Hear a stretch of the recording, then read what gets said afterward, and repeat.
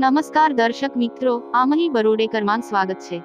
આજે ગુરુવારને સાથે પુષ્ય નક્ષત્ર હોય સુંદર ગુરુ પુષ્યામૃત યોગનું વિશેષ મહત્વ ગુરુ પુષ્યામૃત નક્ષત્ર વિશે શહેરના જ્યોતિષશાસ્ત્રી શ્રી નયનકુમાર જોશી દ્વારા વિસ્તૃત માહિતી.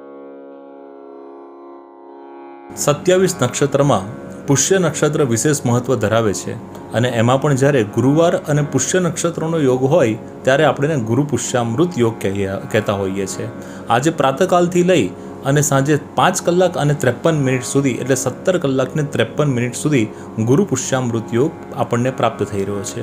પુષ્ય નક્ષત્રમાં લીધેલું સોનું, ચાંદી અથવા તો મકાન, વાહન તમને ખૂબ લાભકારક રહે છે તમારા માટે સુકનવંતા સાબિત થાય છે. માટે જ વિશેષ કરી ગુરુ પુષ્યામૃત યોગમાં સોનું ખરીદવા માટે, ચાંદી ખરીદવા માટે આ ઉત્તમ દિવસ અને ઉત્તમ મુહૂર્ત ગણાય છે.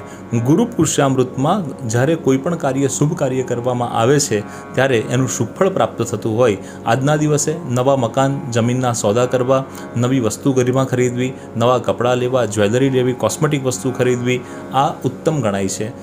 પુષ્ય નક્ષત્ર, શુભ નક્ષત્ર હોવાના કારણે આ નક્ષત્રનો વિશેષ મહિમા આપણા શાસ્ત્રમાં વર્ણન કરેલો છે અને એમાં પણ ગુરુ પુષ્યામૃતના દિવસે લક્ષ્મી પ્રાપ્તિ માટે ઘરે જો શ્રીયંત્ર હોય, તો એ શ્રીયંત્રની પૂજા કરવામાં આવે, પંચામૃતથી અભિષેક કરવામાં આવે. શ્રી સુક્તમ નામના સ્તોત્રથી લક્ષ્મીજી પર સ્ત્રી સુક્તથી અભિષેક કરવામાં આવે, તો ઉત્તમ ફળ પ્રાપ્ત થાય છે. આજના દિવસે બિલીના વૃક્ષનું પૂજન પણ ઉત્તમ ગણાય છે, સેવનના વૃક્ષનું પૂજન પણ ઉત્તમ ગણાય છે અને પુષ્ય નક્ષત્રની અંદર શિવ પૂજા પણ ઉત્તમ ગણાય છે. તો શ્રદ્ધા ભક્તિથી જે કોઈ પણ વ્યક્તિ ગુરુ પુષ્યામૃત યુગની અંદર કાર્ય કરે છે, ભગવાન એને શુભ ફળ આપે છે. આમ બધા નક્ષત્રોની અંદર પુષ્ય નક્ષત્ર, કર્ક રાશિનું નક્ષત્ર છે.